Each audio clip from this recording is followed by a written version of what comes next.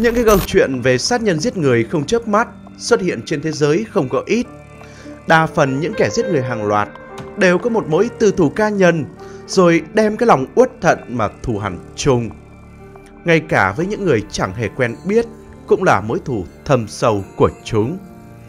Nhắc đến đây thì hẳn bạn đang tưởng tượng đến những kẻ máu lạnh với những đặc điểm hành động không thể nào biến thái hơn. Và ngay bây giờ đây, mình sẽ kể cho anh em nghe về một câu chuyện kinh hoàng Hàn Quốc.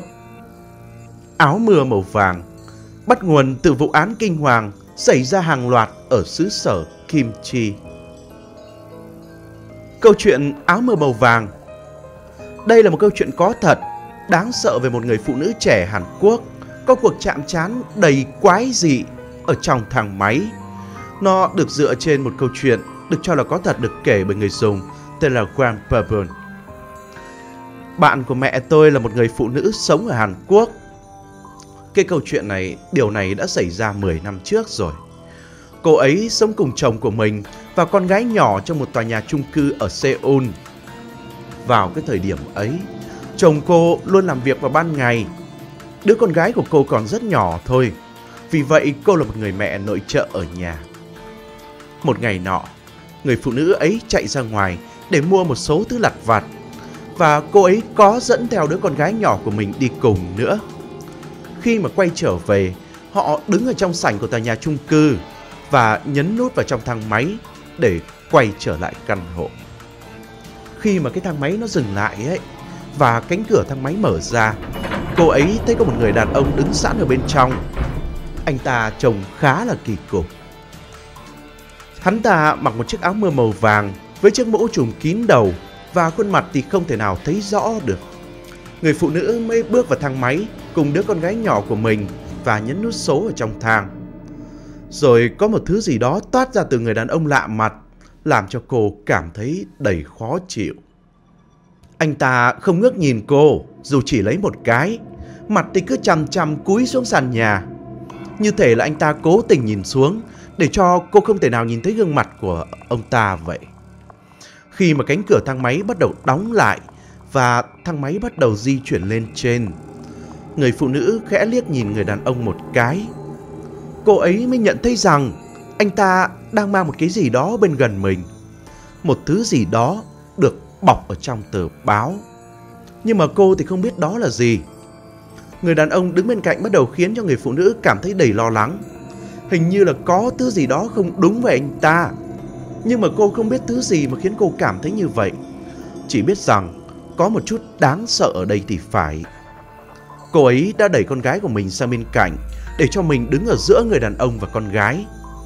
Cô cảm nhận được cái sự nguy hiểm nào đó phảng phất qua đây nên cô muốn bảo vệ đứa con gái của mình.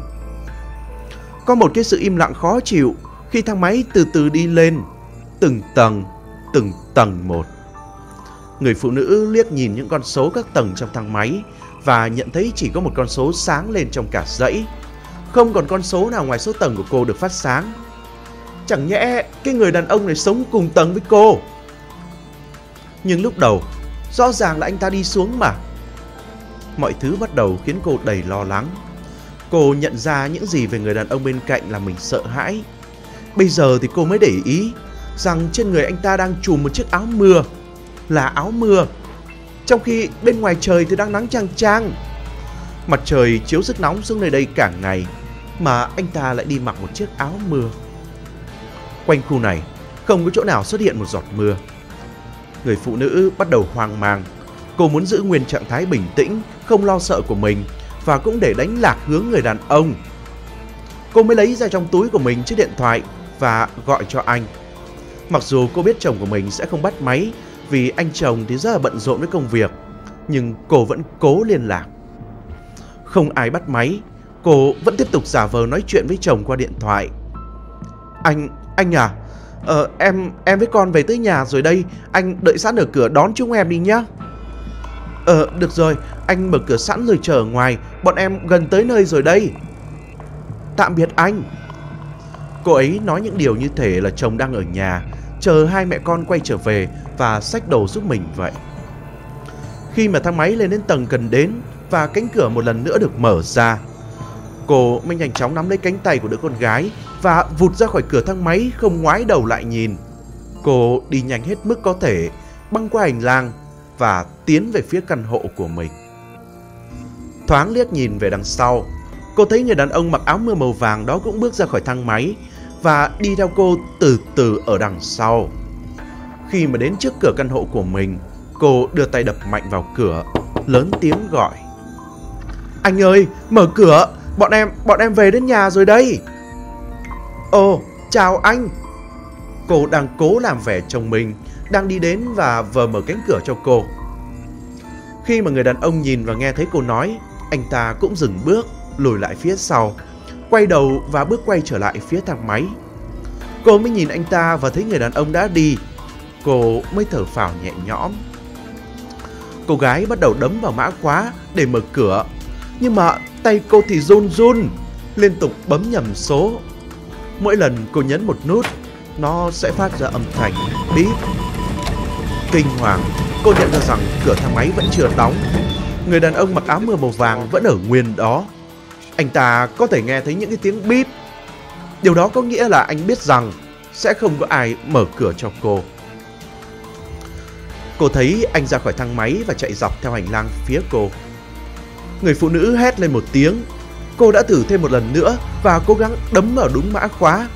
Cánh cửa bật mở, bà đẩy con gái vào trong, nhảy qua ngưỡng cửa và khi quay trở lại, cô thấy người đàn ông mặc áo mưa màu vàng đang ở ngay phía sau mình.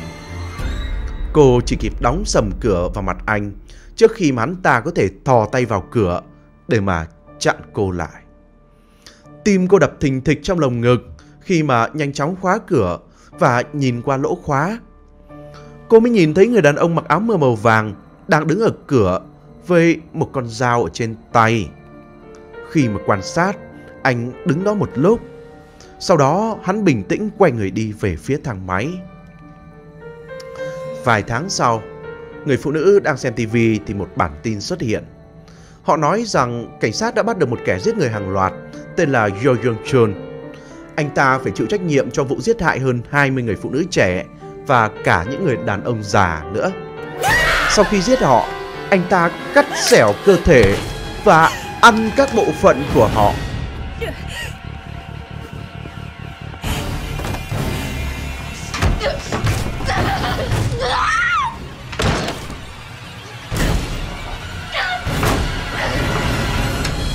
Người phụ nữ nói với mẹ tôi rằng cô ấy không bao giờ có thể quên được cảm giác sợ hãi khi mà xem đoạn phim về tin tức kẻ giết người hàng loạt bị cảnh sát dẫn đi. Hắn vẫn mặc chiếc áo mưa màu vàng như cũ. Thảm án giết người hàng loạt của gã sát nhân mặc áo mưa màu vàng đầy kinh hãi.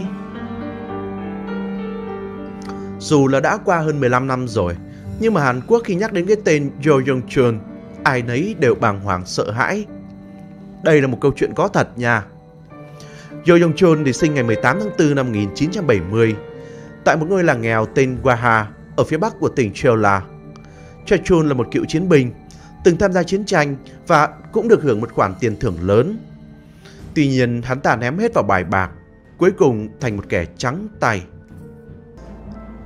Cuộc sống hôn nhân giữa cha mẹ của Chun thì có nhiều lục đục. Trong thời gian mà mang thai ấy, mẹ y từng nhiều lần nghĩ đến chuyện phá thai. Bà cũng muốn bỏ chồng nữa. Ngay sau khi hạ sinh, người mẹ đã đẩy chun cùng ba đứa con trước lại cho bà ngoại, một mình đi nơi khác làm ăn. Từ nhỏ thì chun đã ý thức được mình là đứa con không mong muốn. Ngoài cái nỗi tự ti ấy, chun còn mắc bệnh mù màu bẩm sinh. Bà ngoại quán ta rất là nghèo, chỉ có thể xoay sở nuôi cơm các cháu. Sau vài năm sống cùng bà, Chun chuyển đến ở với cha ruột. Cha hắn thì cũng chẳng giàu có gì cho cam. Ông vẫn giữ thói quen ham mê đánh bạc nên túng quẫn quanh năm. Đến tuổi đi học, Chun thấm thía nỗi khổ của tầng lớp thìa đất. Cậu bé Chun ngày đó bị bạn bè thìa bạc miệt thị là cái đồ khố rách áo ôm và bắt nạt nữa. Cũng chính vì vậy mà Chun cực kỳ là ghét những đứa trẻ con nhà giàu, không thích luôn cả phụ huynh của họ nữa. Bắt đầu từ năm thứ hai trung học, John sinh tính trộm cắp vặt. Y đã từng thó cây guitar và chiếc đài băng của nhà hàng xóm, rồi dần dần tiến tới tiền mặt, máy ảnh hay thậm chí là xe hơi. Suốt thời cấp 2, cấp 3, Chun liên tục ra vào trại cải tạo trẻ vị thành niên. Bước lên tuổi trưởng thành, y còn trộn cắp nhiều hơn nữa. Đến năm 1992, Chun kết hôn với Hoàng, một phụ nữ làm nghề massage. Trước khi thành chú rể, y mang trên mình tổng cộng 14 tội danh và 7 năm bóc lịch. Vào năm 2000, Chuồn bị bắt vì tội cưỡng hiếp một thiếu nữ 15 tuổi, chịu phạt 2 năm tù giam. Trong thời gian thụ án, Hoàng ly hôn. Ra tù thì Chuồn làm giả thẻ cảnh sát, tống tiền ở cô. Đến ngày 24 tháng 9 năm 2003, Chun đột nhập tư gia của cặp vợ chồng ông lão Lee Deong Suk, 72 tuổi, và Lee Eung Up, 67 tuổi, sát hại cả hai một cách đầy tàn nhẫn bằng chiếc búa tự chế của mình. Đến ngày 9 tháng 10 cùng năm, y tấn công Kang Eun-sun, 85 tuổi, cùng con gái và cháu trai của bà, cũng dùng hung khí là chiếc búa ấy. Đến ngày 16 tháng 10, y tiếp tục đột nhập nhà riêng, giết người. Nạn nhân lần này là bà Yoon Jung Hee, 60 tuổi. Ngày 18 tháng 11, sau khi sát hại Kim Jong Seok, 87 tuổi và Bae Ji Hee, 53 tuổi, y còn phóng hỏa đốt nhà nhằm xóa bỏ đi dấu vết của tội ác nữa.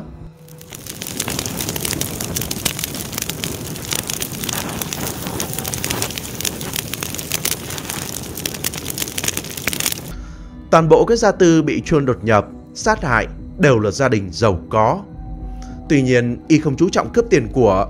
Giới điều tra Hàn Quốc vô cùng bối rối, không hiểu mục đích của hung thủ là gì đây. Đến cuối năm 2003, Chôn quen bạn gái mới. Ngay khi phát hiện y có tiền án tiền sự, cô gái này đã từ chối gặp gỡ. Bức xúc vì bạn gái mới yêu cầu Đừng xuất hiện trước mặt tôi nữa Chôn chút giận lên một nạn nhân là nam giới họ Chung, 47 tuổi và cũng sát hại anh. Vẫn chưa hả dạ, ý quyết định thay trời hành đạo, trừng phạt những ả đàn bà dơ bẩn. Đến ngày 16 tháng 3 năm 2004, Chun gọi cho cô gái bán hoa tên là Won Jin Hye, 23 tuổi tới nhà. Y đã giết cô bằng cây búa đã quen tay, chặt thi thể thành nhiều mảnh, phi tang trên con đường mòn vắng vẻ gần Đại học Sogang. Tại Hàn Quốc, mại dâm đã là vấn nạn lâu đời.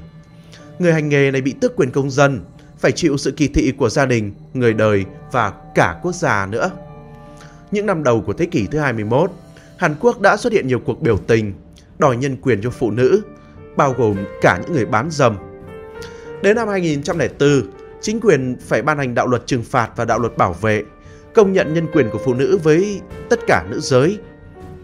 Chun thì có ác cảm với đàn bà, Thuở nhỏ y ghét và sợ mẹ Vì bà luôn nhìn y với ánh mắt Đẻ ra mi đó là một sai lầm Sau khi bị vợ bỏ và bồ đá Lại thấy gái làng chơi cũng có nhân quyền Y càng thêm phần điên tiết Đến ngày 8 tháng 5 năm 2004 Chun dụ dỗ một cô gái bán dâm 25 tuổi về nhà Tấn công bằng búa Rồi lại phân thi thể thành nhiều mảnh. Đến ngày 7 tháng 5 Y sát hại Shin Mia 33 tuổi theo cùng một cách. Dù công nhận nhân quyền cho mọi phụ nữ, Hàn Quốc thì lại không mấy quan tâm đến an nguy đối với những đối tượng bán dâm. Chỉ cần vài lời lừa phỉnh và thẻ cảnh sát giả, Chun dễ dàng đưa nhiều gái bán thân về nhà, sát hại rồi phi tang thân thể của họ. Chỉ từ tháng 3 đến tháng 7 năm 2004, y chót lọt sát hại 10 người. Mỗi lần hình sự, tên đồ tể lại mặc áo mưa màu vàng. Vì thế sau này, y mới có biệt danh sát thủ áo mưa vàng. Sự tàn ác của Chun khiến cả giới tội phạm Hàn Quốc cũng phải kinh hoàng nữa. Nhiều tên Marco đã bắt tay với cảnh sát, cùng họ răng bẫy để bắt Chun. Tan tan! Mẹ cái chuyện này kinh vãi cứt nhở? Mẹ cái thằng này là thằng sát nhân hàng loạt. Thằng này có thất ngoài đời nhá Chứ không phải chuyện mà tự quay tay ra chuyện đâu. Mình tóm tắt lại cho những cái bạn nào mới vào like nhá Mà những bạn chưa xem mà không biết đấy.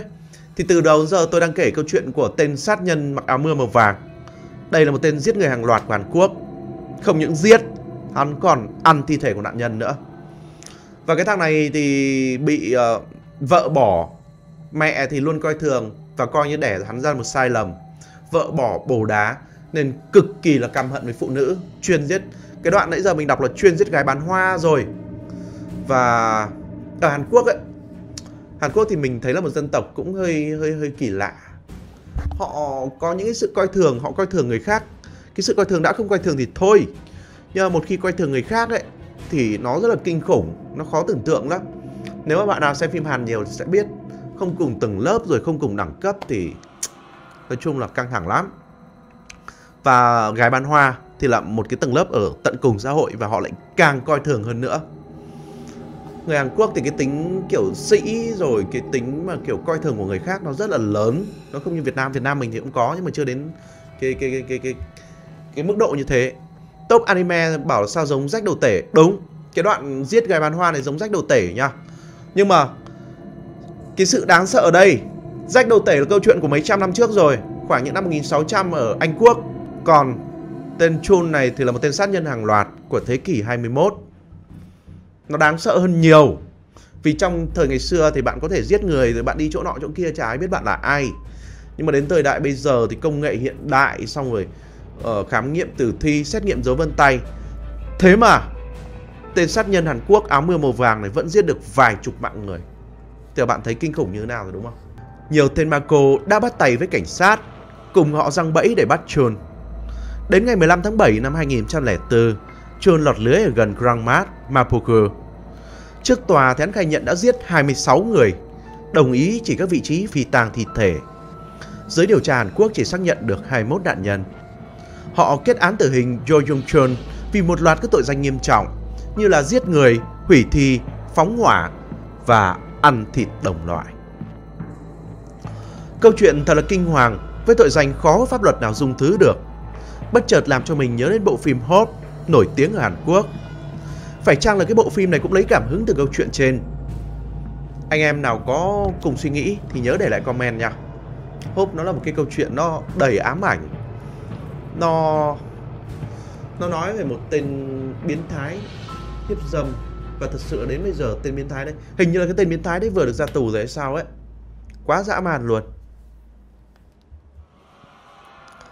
Và câu chuyện về tên sát nhân áo mưa màu vàng đến đây cũng là kết thúc rồi Anh em thấy hay không? Nếu mà thấy hay thì đừng quên comment vào nha